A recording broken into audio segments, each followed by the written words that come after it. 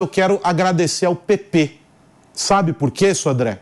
Porque o PP abriu mão de estar no Cruzeiro do Neymar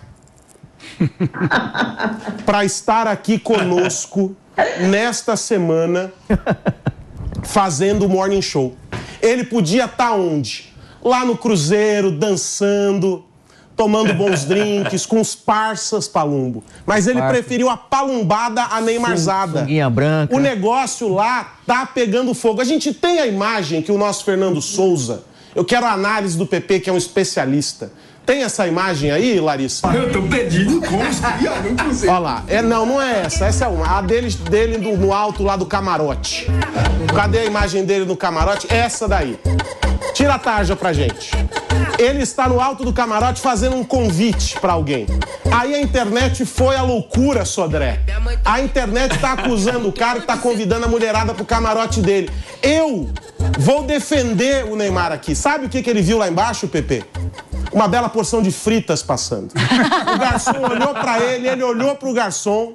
Lá na redação, todos incriminando o menino Ney que só queria comer pra poder forrar o estômago pra continuar bebendo bons drinks. Você que é um especialista nesse olhar, ó, nessa, nesse joguinho de cabeça. Você que tá no alto do seu camarote, Pepe, qual é o diagnóstico pra essa cena?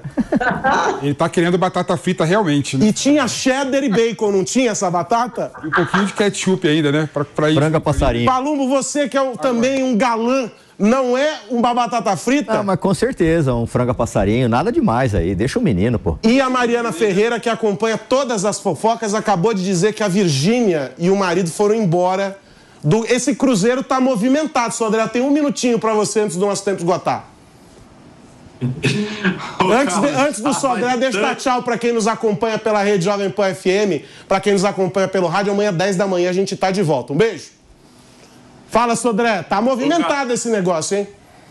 O Carlos está bastante movimentado, mas eu gostei aí da sua colocação, dizendo que ele está pedindo uma refeição ali para levar para o camarote dele, que tem tudo que tem direito e mais um pouco. Inclusive, tem uma exclusiva minha do Thiago Sodré na minha coluna, que ele é, convidou 40 mulheres para levar para esse navio. 40 mulheres que têm direito à ala VIP, ao camarote do Neymar. Então, você acha que ele não estava, de repente, chamando uma dessas 40, não?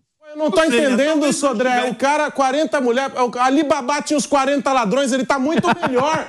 Ele tá com as 40 pra não ficar sozinho, coitado. Quem quer passar o fim de ano sozinho?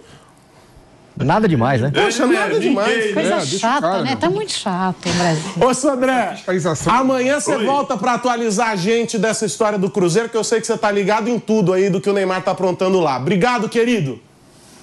Tamo junto. Volto sim, Carlos. Obrigado você. Agora, 40, que não é nada. O PP fez uma lista que tinha 120. Pois é. É que ele falou que o barco dele era pequeno. Aí ele falou, não, eu vou ter que cortar a lista à metade.